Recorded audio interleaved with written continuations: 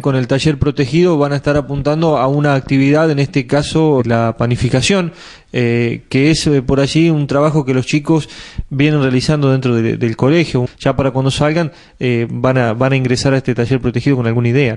Sí, la idea es, es tratar de no salir de los carriles en los cuales hoy los chicos están circulando día a día su vida, porque eh, hay que tratar de, no desestructurar eh, eh, cada uno de, los chicos en los cuales, bueno, la, idea es, la idea central, discúlpame, es empezar a trabajar en, en, hacer masitas secas, alfajores que ya los chicos hacen, pizzas que también los chicos hacen. Entonces, eh, en principio, eh, cuando nosotros eh, empecemos a, trabajar con esto y al no salirnos de lo que los chicos hacen hoy,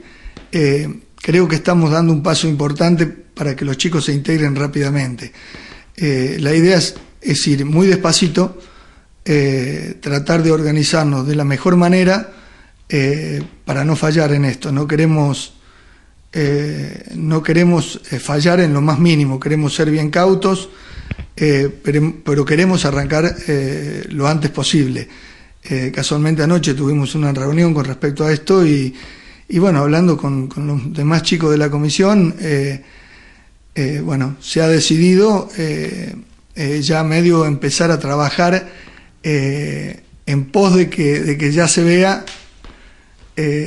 cuál es el camino que queremos recorrer. Eh, realmente la, actividad social eh, que, se, que se va a desarrollar es, es importantísima para, para, la localidad, como decíamos, y para el desarrollo también de, de, estos chicos, estos jóvenes que al momento de egresar, en muchos casos por allí la provincia eh, dijo el corte es a los 25 años, pero no dio tampoco soluciones para lo que se venía después. Y bueno, ustedes de alguna manera se la están dando, ¿no? Es el objetivo, es el objetivo,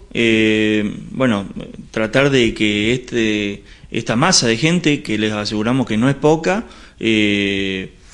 no, no quede a la buena de Dios y, bueno, eh, no buscar culpables, sino tratar de darle soluciones.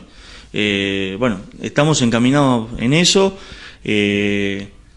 Déjame agradecer de nuevo a, toda la gente que nos da una mano diariamente, cotidianamente y, y bueno, resaltar a en este caso a una de las empresas de, la localidad que, desinteresadamente nos ha abierto las puertas y, gracias a ellos hoy eh, nos está permitiendo eh, tratar de desarrollar o llevar adelante el primer taller que es el, de panificación que te contó Daniel, que es el Molino Fénix. Quería también eh, agradecer a la, cooperativa, acá, Cooperativa Unión de Justiniano Pozo, que también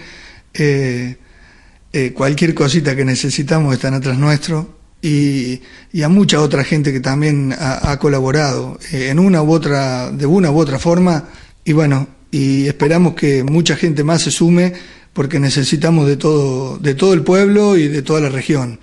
Eh, sinceramente, eh, va a ser un trabajo arduo, pero estamos muy arriba con la esperanza, con la fe, y creemos que esto va a ser algo muy lindo.